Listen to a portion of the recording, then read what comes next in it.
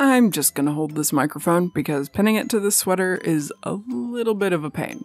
Hello, I'm Adrian, this is Barrows and Wights, and I am not the best at time management. It is now October. I have a Halloween project planned. You'll find out if I've finished this Halloween project in time to get the video out. So, this is my backup Halloween project because I like making Halloween projects.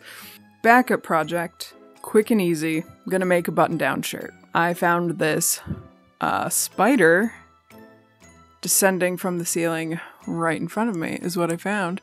That is a teeny little spider. Friend.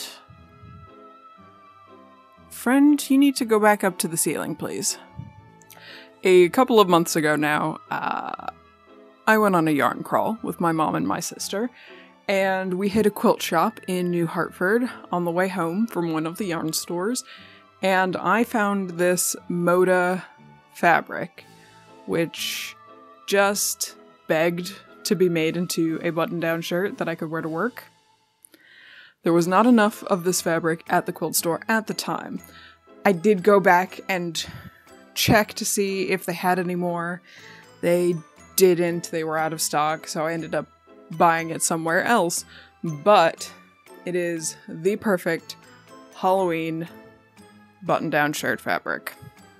I'm going to use pieces from two different patterns to make this shirt. The main pattern that I'm using is a pattern that I took off of a shirt that I bought at Target a bajillion years ago, which 95% of the way fits me great. The problem is that the sleeves are a little bit too narrow for me to roll them up comfortably the way that I normally do. I end up having to like really strategically roll the sleeves so that I don't break open the sleeve seams when there's additional fabric and my arm. So I'll be using the sleeve pattern piece from uh, Simplicity 1544, which is my other go-to shirt pattern.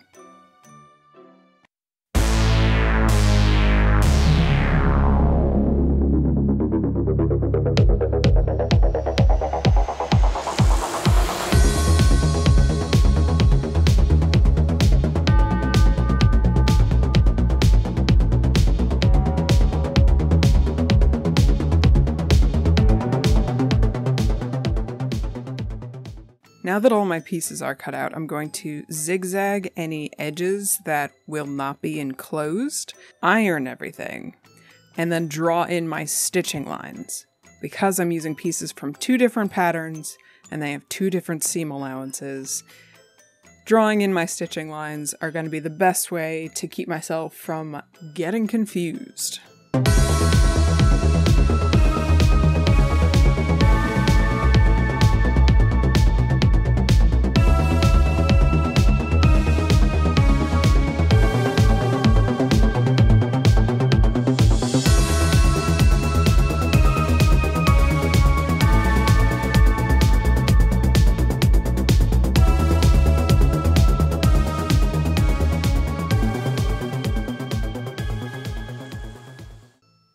Here we have all of my shirt pieces cut out. They are ironed and pressed. All of the interior seams have been zigzagged. And I just wanted to go through which pattern pieces go with which pattern. The two fronts and the back. So these are based off of the Target shirt pattern. And any patterns that I do myself have a half inch seam allowance. So these will have a half inch seam allowance. The sleeves are from the Simplicity pattern, which have a 5 8 inch seam allowance, like all Simplicity patterns do. These pieces on the end over here, let's scoot you over here, are all technically from the Simplicity pattern, because I didn't bother tracing those out of the Target shirt. I just used the pieces from the Simplicity pattern. Except for this one, Usually, with my target shirt pattern, I just extend out the shirt fronts and fold them under a couple of times to make the button bands. So I generally don't use the button band from the Simplicity pattern. However, that would look really uh, obvious on this striped fabric that my shirt fronts are not straight in the front. That's just how the Target shirt wore on my body. So, in order to make them look a little less weird, we've cut out the actual button bands. So these will have 5 8 inch seam allowances, cuffs, neckband, collar. They're all supposed to have 5 8 inch seam allowances. They look fine with the half inch seam allowances, and for the neckband and the collar, I actually prefer how that turns out with the smaller seam allowance. Cuffs I don't care about because I never wear my sleeves down. My sleeves are always rolled up unless I'm freezing. So I really don't care about cuffs in any way. I should also mention that I will be using these friction pens to mark my pieces. You have no interest in focusing on these pens? The ink erases with heat, except on very dark fabrics. Uh, you will see a kind of pale white line on dark fabrics, but since this is a white shirt and it will all be interior markings and seam lines, I'm not worried about it.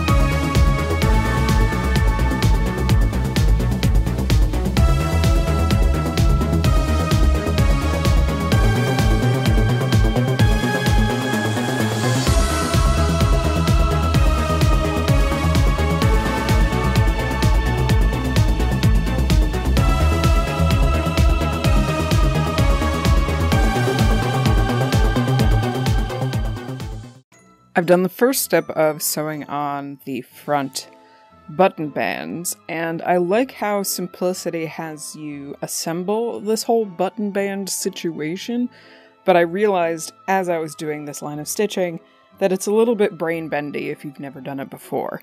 So I'm going to try to explain how this works. So here is the front of your shirt. Here is your button band. I think the simplicity directions actually have you do this a little bit backwards, but I like the way that this way looks, so I'm going to explain it this way. Like most seams, wrong sides together, do your line of stitching here. That's all well and good, pretty straightforward. The next thing I'm going to do is iron down the seam allowance on the loose end of this. This seam allowance will follow whatever the natural seam allowance of the collar will be, and the other end down at the hem, because I've already hemmed this shirt body, is kind of where the magic happens here, I guess. So let me press this seam and press this seam allowance down, and we will come back.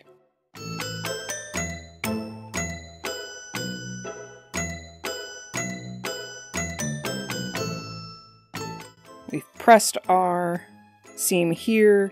We've pressed down our seam allowance here.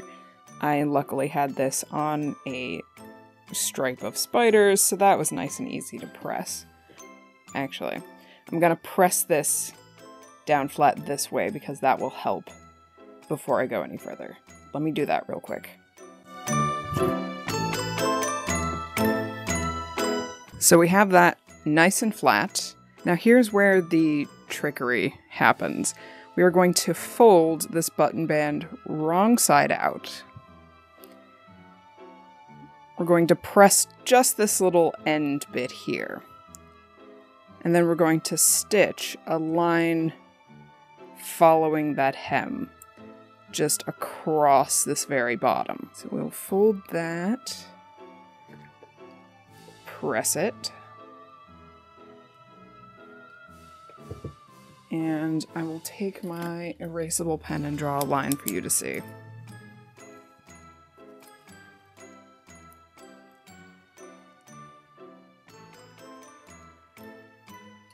We are going to stitch along this tiny line.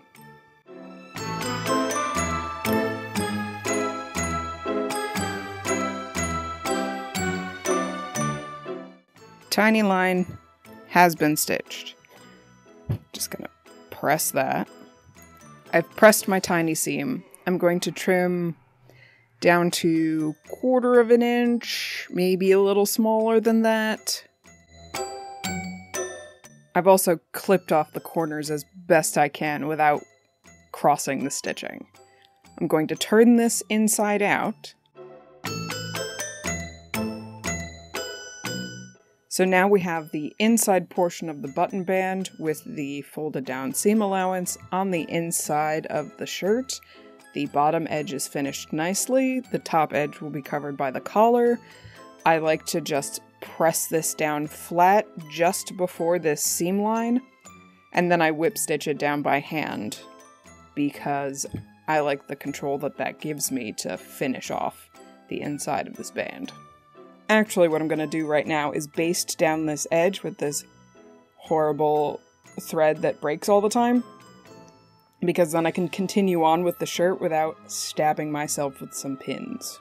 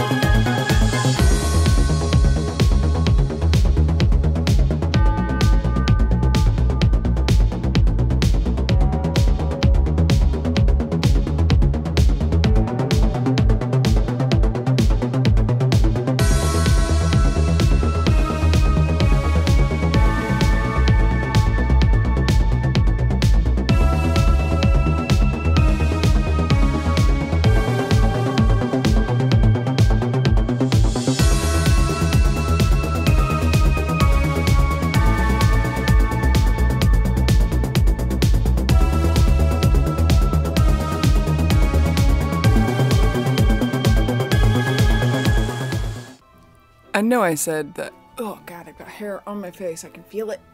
I don't even remember what I said yesterday on camera. However, I do recall going over some of the areas where I normally hand stitch down interior parts of the shirt, like the button band. I don't remember if I mentioned it for the cuffs and the collar, but I normally do it there too. And almost everything is basted for the hand stitching. However, I made some poor decisions yesterday with regards to another project and not stopping when I should have, so my shoulder is not pleased with me. Normally, I would just put this off another few days. Today is October 22nd, and I need to edit this video in time for Halloween. So, I'm going to very carefully edge stitch the button bands, the collar stand, the cuffs, to get those all secured down. The simplicity directions do tell you to top stitch down all these edges. I just prefer the cleaner look of whip stitched interior stitches. It's better to have a finished shirt than an injured shoulder, so we're going to machine stitch all that down. And honestly, these are only details that you would see because I'm showing them to you. They're not noticeably different when I'm wearing the shirt.